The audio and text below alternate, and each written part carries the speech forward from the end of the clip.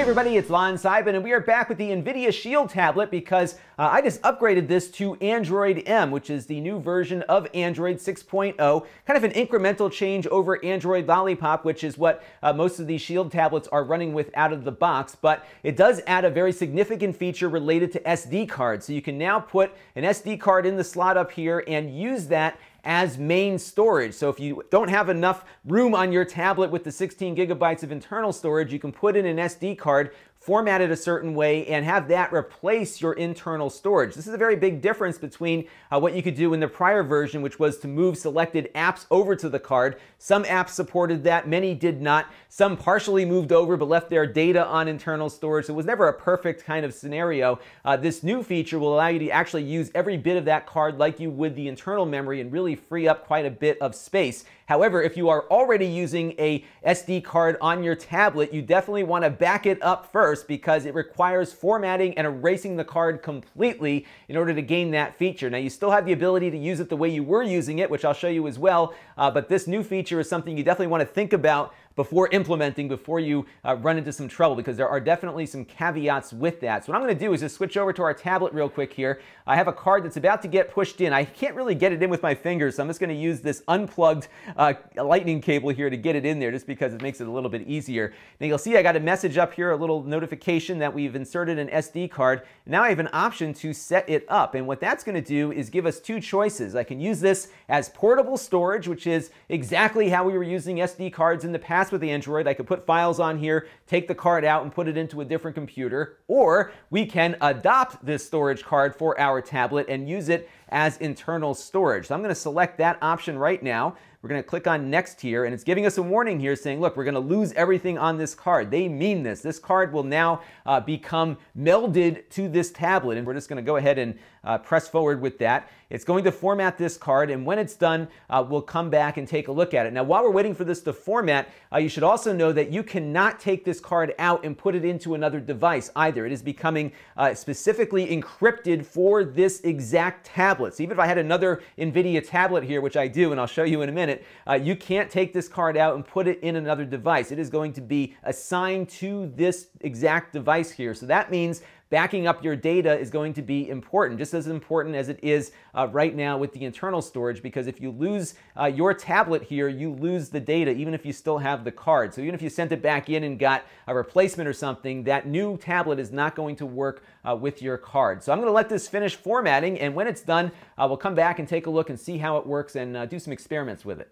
All right, the formatting is done. It's now giving me the option to move over the rest of the stuff that we had on internal storage, which I'm going to do right now and you can also do that later if you want. Now, it's interesting about how this new adoption feature works is that you still have access to your internal storage and you can still decide what lives on the SD card and what lives on internal storage. So it's actually very flexible, more so than I thought it would be. Uh, so let me show you what I mean by that. So I've got my storage and USB settings pulled up here from the uh, settings screen and you can see that my uh, SanDisk card has 298 megabytes used out of almost 15 gigabytes, whereas the internal storage has about 3.2 gigabytes used.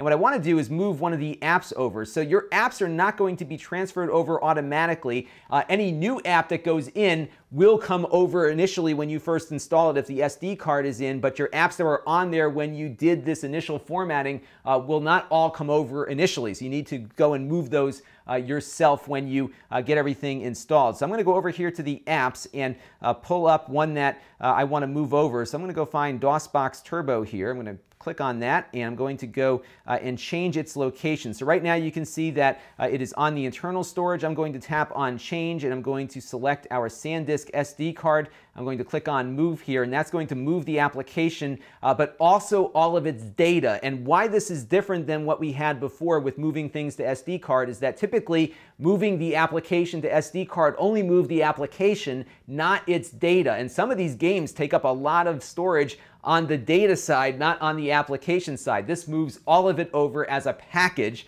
Uh, and what will happen here after we are done is you can see that we are now on the SanDisk uh, uh, SD card. And if I go back to the main menu of my device here. You can see my DOSBox Turbo is available there. I'm going to tap on it, load up DOSBox, and it should work off the SD card just as well as it works off of the internal storage. You will see, though, that we've got this crazy new directory here. Uh, this is part of how all this new stuff works, is that it's uh, doing some things behind the scenes to reference the physical location on the card that it wasn't doing before. So if you have an old application that is looking for files in a very specific place, uh, this is not going to work for those older apps. But most apps are referencing uh, kind of a virtual location, basically saying user's home directory and this directory versus an actual specific directory. And it's kind of complicated, but bottom line is things like DOSBox here are recognizing that this uh, crazy address is where things should be located.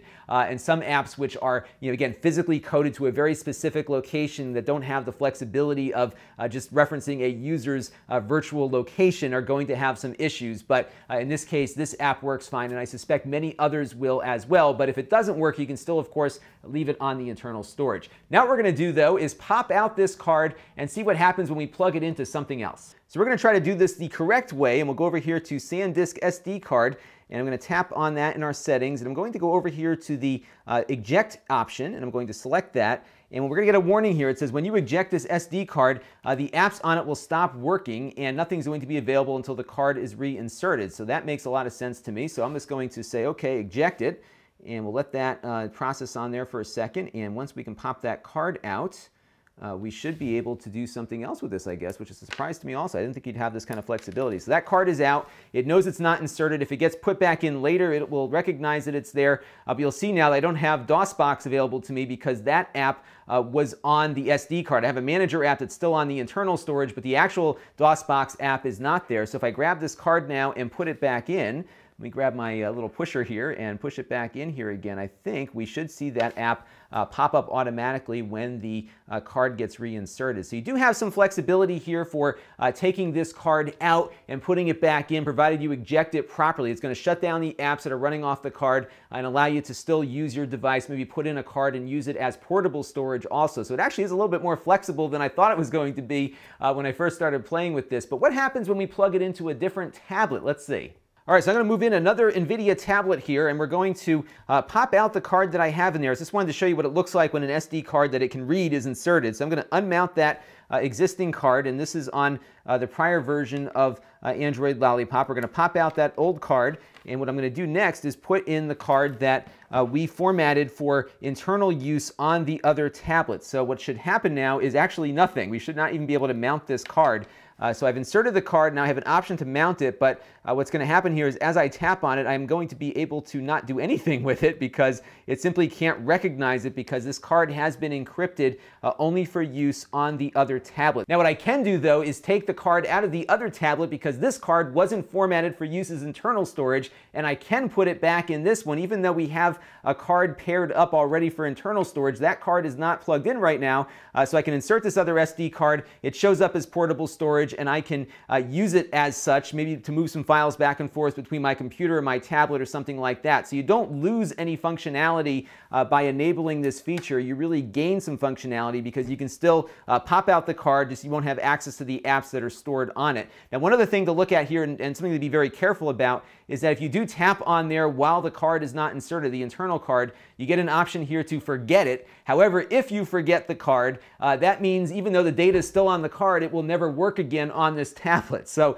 be careful not to click forget because if you click forget, your card will be uh, inaccessible to your tablet uh, once again. So lots of caveats here that you need to be careful about, uh, but I do think this adds a tremendous amount of functionality because you really are getting a, away from the limitations that we had in moving applications in the Android platform over to an SD card. Uh, so you're you know, giving up a little bit in that the card can only be used on the device that it's formatted for, but as long as you're keeping good backups of that device, I don't think it's as big of a problem. Uh, you definitely want to get faster cards than uh, what you might get you know, off the bargain bin at the department store or something. So do check out my video about all the different speed types related to uh, SD cards because you definitely want to get something that is as close to the speed of the internal storage as you can, especially if you are an Android gamer and pushing a lot of data back and forth.